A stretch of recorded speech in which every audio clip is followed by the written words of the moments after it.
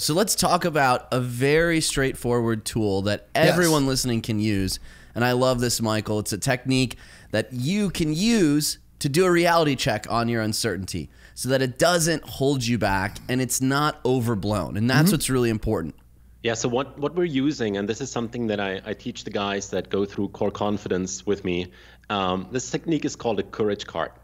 And it's designed to disarm the hot cold empathy gap. Now, I'll, I'll tell you what the courage card is, and then I'll explain the hot cold empathy gap. So, the courage card is a small piece of paper or a note on your phone where you answer the following questions to a scenario where you find yourself in often.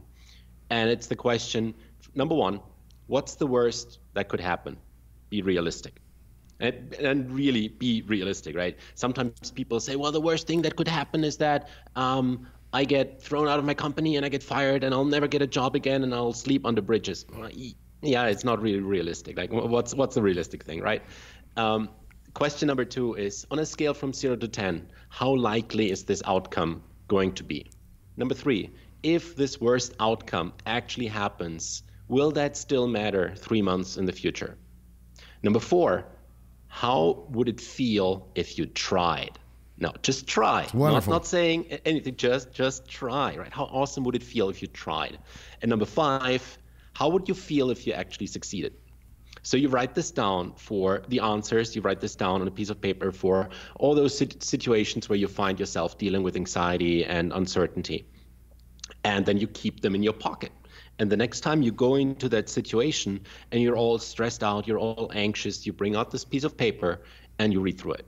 Now, here is where the hot cold empathy gap or cold hot empathy gap, one of those two, um, comes in. Because the, the usual problem that we have is we can think rationally about things before we're in the situation, but once we're in the situation, like everything bubbles up. Where just, you know, there's anxiety, there's stress, there's all there's this elevated heart rate, which is freaking out, and everything seems to go wrong. So this is why we write this courage card when it's when when when we're cold, when we can look at this rationally, and then when it really gets crazy, that's when we look at this. It's like, hey, back then I wrote this a week ago. Yeah. I was, you know, sane of mind. I was very rational, and this is what I what I came up with. So, you know, this is probably more the truth than what I'm feeling right now. So I'm going to go with that. I love the courage card. It's it's fantastic and it works. It helps you work through all the things that you're feeling in a very uh, based, reasonable way. And I want to add, I want to add one question to it. Number six. Will freaking out help you in this moment? go, ahead, go ahead, go freak out. How, how's that going to serve you in this moment? I, that's the one that was always in the back of my head. It's like, oh, well, how, okay, you feel like freaking out. Okay, will that help you in this moment? Go, go for it. Right? No, that's working against us. And and here's the thing: when we actually sit there calmly, coolly, break down, what's the worst that could happen? What's the feeling I'll have if I tried? What's the feeling I'll have if I succeed in this area? Well, that rationalization happening before the fact oftentimes gets you to a place where you don't have to pull out the card. Mm-hmm. You walk mm, in exactly. with a feeling of security that I know that I've already game planned everything. I've already worked through all the different outcomes, and now I can take that step forward.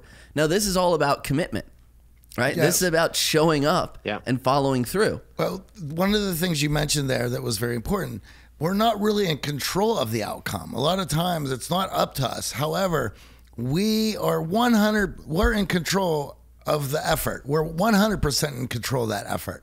And so in order to feel good or create that destiny in the best of your ability, that's going to be on you.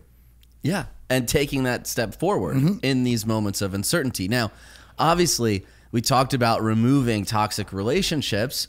And when we remove relationships, that does create a lot of uncertainty in our lives mm-hmm. and it does create a lot of discomfort. So, thinking clearly about, okay, I've identified my friends who are toxic, I've identified that these relationships are not serving me. Now, with that courage card going through, what's the worst that could happen if I lose this friend? Okay, well, I'm not going to have that person to talk to. Okay, well, lunch is going to suck at work. They're not going to be hanging out with me anymore. Okay, on a scale of zero to 10, how likely is it that you're not going to have anyone to talk to at work? right? Oh, well, it's not pretty much out of 10, right? You start working through these things, and all of a sudden you realize that, man, I'm not even close to being rational with these thoughts, mm-hmm. right? I'm having all these mm. emotional flare ups that aren't even rational, that aren't even tied to any reality. And I think that's really the power of this courage card, having that in your pocket, having some faith that following through is where the magic happens, allows us to deal with that uncertainty that's holding us back.